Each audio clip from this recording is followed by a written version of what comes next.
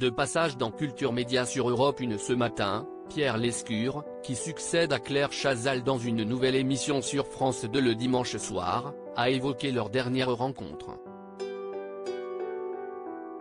Depuis l'annonce de l'arrêt définitif de Passage des Arts, le rendez-vous du dimanche soir consacré à la danse, à la musique, au théâtre et au cinéma de France 2, des réactions tous azimuts circulent.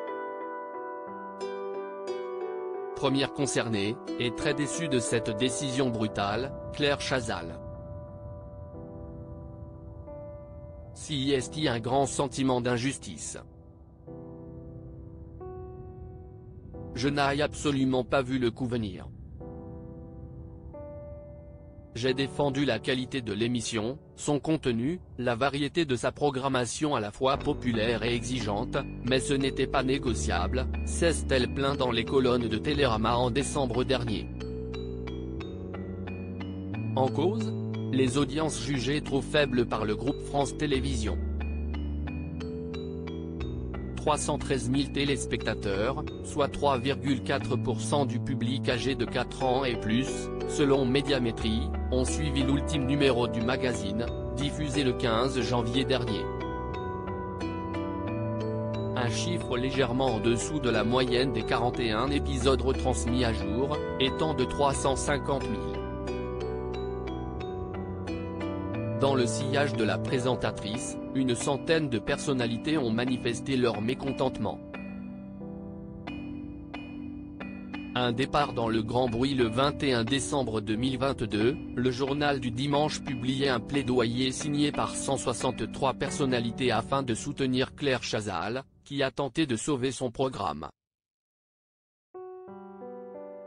Carla Bruni, Jean Dujardin, Emmanuel Béard ou encore Danny Boone font partie des signataires. Mais Pierre Lescure n'a pas souhaité se joindre au lot.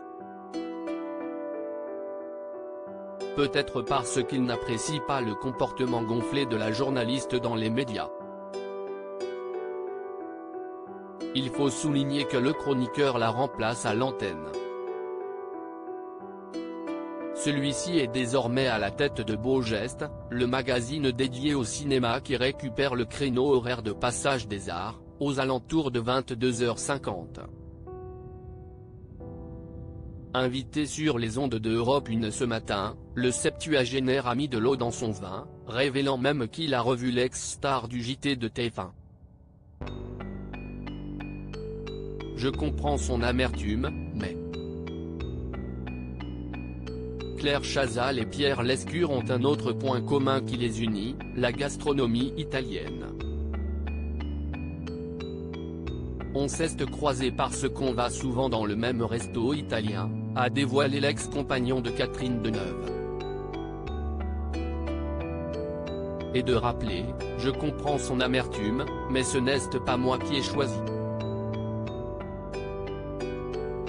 Quand on a évoqué l'émission avec Stéphane Citebon Gomez, il m'a dit je ne sais pas trop si ce sera sur la 3, la 2 ou la 5, mais j'ai envie d'une émission sur le cinéma. On en reparle pendant l'été ou à l'automne. Le présentateur ne se voyait donc pas refuser une aussi belle opportunité. À lire aussi Pierre Lescure tacle Claire Chazal et son comportement gonflé quand elle a appris qu'il la remplaçait.